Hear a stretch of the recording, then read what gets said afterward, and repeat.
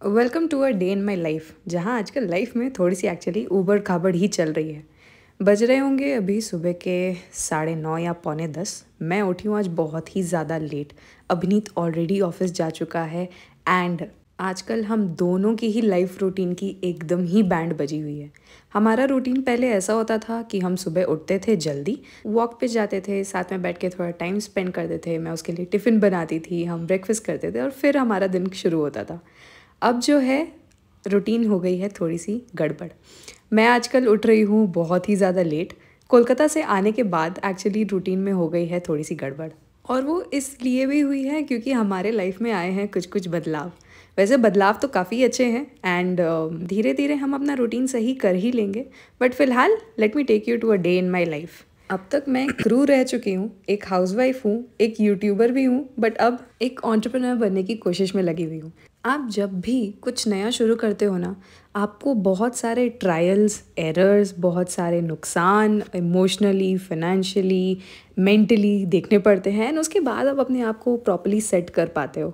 हम फ़िलहाल अभी उसी स्टेज में हैं जहाँ पे अभी हम बहुत कुछ सोच के समझने की कोशिश कर रहे हैं एंड अपने आप को बिल्ड करने की कोशिश कर रहे हैं।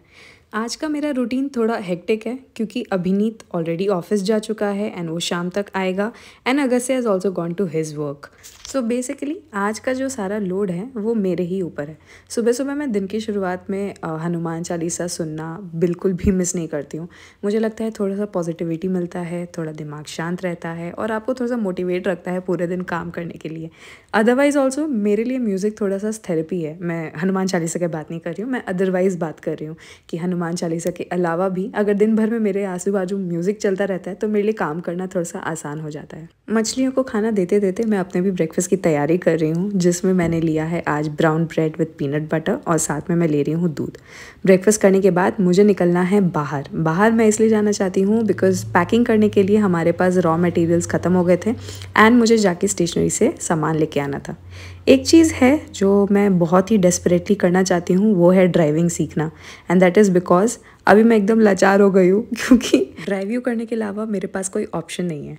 ब्रेकफास्ट करने के बाद मैंने नहा लिया एंड उसके बाद I just got ready to go out I am trying to keep it very simple today because I also have a lot of work and I want to wear comfortable clothes तो मैंने kurti set पहना है अभी। Just doing a little skin care because मैं बाहर जा रही हूँ तो सनस्क्रीन लगाना बिल्कुल भी नहीं भूलना चाहिए। And just so to ensure कि अच्छे से मॉइस्चराइजर लगा हुआ है I massage my face for some time and उसके बाद थोड़ा सा लिप कलर लगा के आई वॉज़ ऑल रेडी मौसम भी आज बैंगलोर का बहुत ही प्यारा होकर रखा था। वैसे एक दिन नहीं, मुझे तो हर दिन बैंगलोर का मौसम वैसे प्यारा ही लगता है।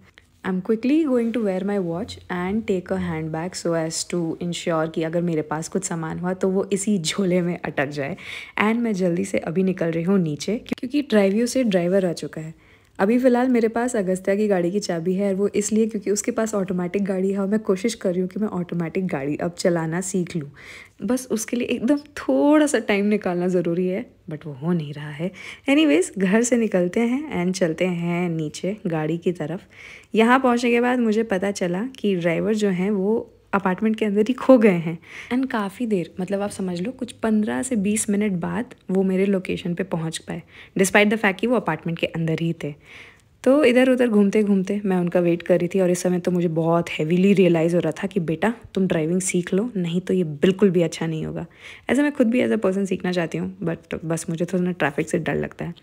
निकल गए थे हम काम से, सबसे पहले मेरा काम था कि यहाँ से मुझे जाना था स्टेशनरी और मुझे लेके आने थे कुछ रॉ मटेरियल्स उसी के साथ साथ मैं जा रही थी अपने डिलीवरी एजेंट के दुकान पे पूछने के लिए कि हमारा सामान कहाँ है।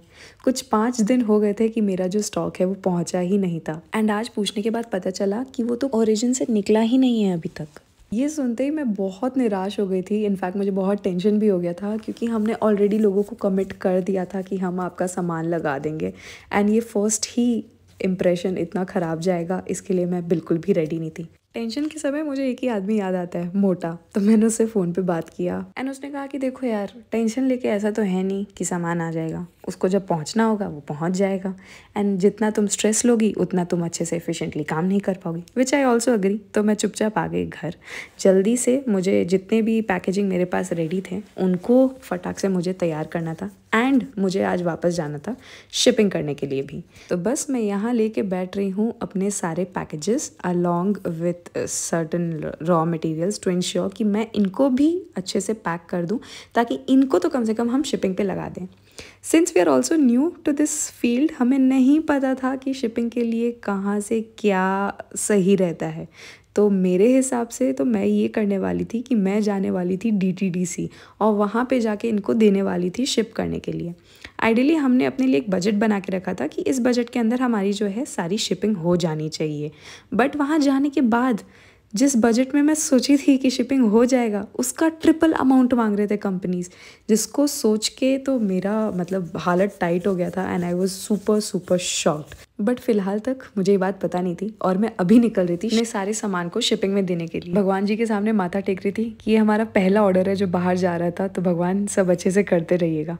बट फ़िलहाल आप जो मुझे देख रहे हो, वो मेरा पूरा जर्नी है कुछ दो घंटे के बाद, जहाँ मैं अलग अलग कंपनीज़ के दुकान पे गई और वहाँ पे जाके उनकी रेट सुनी और इतना हक पका गई थी कि भाई साहब, इतने महँगे में लोग शिप कैसे करते हैं?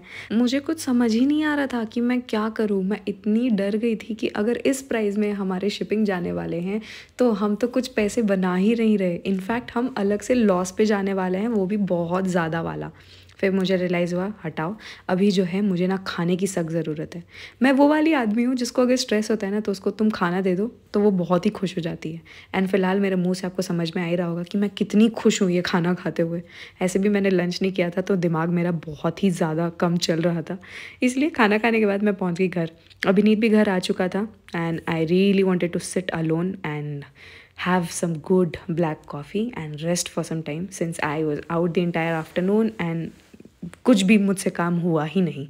कहाँ मैंने सोचा था कि आज शिपिंग निकल जाएगा और प्रोडक्ट्स के बारे में पता चल जाएगा और कहाँ मुझे कुछ भी नहीं पता चला और मैं एकदम ही स्ट्रेस्ड आउट हो गई। ना हमारा शिपिंग हुआ, ना कोई और काम हुआ। निराश हाल में मैं पहुँच गई अपने बालकनी। यहाँ ना मुझे अपने घर में सबसे ज़्यादा सुकून मिलता है क्योंकि यहाँ मैं जब भी बैठती हूँ तो मेरा दिमाग थोड़ा सा टेंशन फ्री हो जाता है। All I want to do is enjoy whatever I am drinking इसके बाद मैं लग गई थी खाने की तैयारी करने के लिए। आज खाने में बना रही थी मैं दाल तड़का और साथ में रोटी और सब्ज़ी। We usually try nowadays to eat food by six और seven so as to ensure कि हम लोग का एक तरीके से इंटरमीडियंट फास्टिंग हो जाए। डिनर करने के बाद I finally sat peacefully and just wanted to go back to bed but फिर रात को दस बजे के करीब हमें अचानक से लगा कि चलो यार, थोड़ा राइड पे चलते हैं, हवा खा के आते हैं। आजकल जो है, हम एक दूसरे को टाइम देना ही भूल गए हैं। एंड ये बात हमें रियलाइज़ करना बहुत ज़रूरी है कि काम सब अपने जगह होता रहेगा। बट इस चक्कर में हमें टेंशन सैड और ऐसा स्ट्रेस में नहीं रहने का है। Agastya had also joints and then we went guess where to the airport despite the fact कि हम लोग बहुत ही ज़्यादा थके हुए थे बट ये वो टाइम था जब हम लोग एकदम ही अपने जोन में थे। इन दोनों को ही देख लो। इस समय ना ये लोग भूल चुके थे कि ये कोई ऑफ़िस ऑफ़िस में जाते हैं या कुछ भी है। एकदम ही मस्ती मज़ाक वाले मोड में खीकी काका करते हुए हम लोग पहुँच गए टी टू एयरपोर्ट वहाँ से हमने लिया शटल बस जो कि जाता है टी वन एयरपोर्ट कुछ दिन पहले ना, किसी ने मेरे कमेंट में लिखा था कि तुम ही लोग हो जिनको बैंगलोर एयरपोर्ट जाने का क्रेज़ है, हमें तो ऐसा कुछ नहीं है। तो ये रात के डेढ़ बजे का आप नज़ारा देख लो। यहाँ सिर्फ़ शायद तीस परसेंट लोग होंगे जो फ़्लाइट से कहीं आ रहे हैं या जा रहे हैं। बाकी लोग यहाँ लॉन्ग ड्राइव पे ही आते हैं, अपने फैमिली या फ्रेंड्स के साथ आके टाइम स्पेंड करते हैं, हवा एंजॉय करते हैं यहाँ का खाना पीना इन्जॉय करते हैं और इतमान से फिर निकल लेते हैं घर की तरफ़। मुझे लग गई थी, भूख तो मैंने मंगाया था, चिली चीज़ टोस्ट और साथ में कोक. एंड फिर वापस टी टू आने के बाद मुझे और अगस्त्या को लगा कि एक एक कॉफ़ी पिया जाए तो मज़ा आ जाएगा। एंड फिर हम निकल लिए घर की तरफ़। डिस्पाइट द फैक्ट कि सुबह जो है बहुत सारी टेंशन थी बट हमें था कि हमें थोड़ा सा अपना मेंटल पीस भी चाहिए। तो हम गए थे राइड पे, हमने थोड़ा सा इंजॉय किया, हमने खाना पीना खाया। And this is how we and our day it is very important in life to know what your faults are, to understand what your mistakes are, and to come out of it with a positive mind. Taking you to my studio room, this is the final setup of how the entire studio room feels like. And in the and I am ending my day with again a little skin care because इतना धूल मिट्टी में जाते हैं तो obviously बाल वाल और फेस जो है, वो ख़राब हो जाता है। It is very important to cleanse the face पीछे आपको अभी नहीं दिख ही रहा होगा। फ़ोन में बात करते करते ही is ensuring that our bed is clean and ready to sleep and here I am doing my little night care routine in which I am just applying a moisturiser आज मेरा स्किन थोड़ा सा ज़्यादा rough लग रहा था तो मैंने सिर्फ़ क्लिनिक का मॉइस्चराइज़र ही यूज़ किया। और टू बी ऑनेस्ट ऐसा नहीं कि मैं एक ही चीज़ डेली यूज़ करती हूँ, मैं हर दिन अपने स्किन के हिसाब से चीज़ें चेंज करती रहती हूँ। Ensuring that I comb my hair properly and फिर उसको अच्छी से बेनी बाँध ले रही हूँ। क्योंकि मम्मी का नुस्खा है कि बाल को अगर आप नीचे से मोड़ दो ना तो हेयर ग्रोथ जो है वो जल्दी हो जाती है। And that is it for today thank you so much for watching bye नमस्ते जय हिंद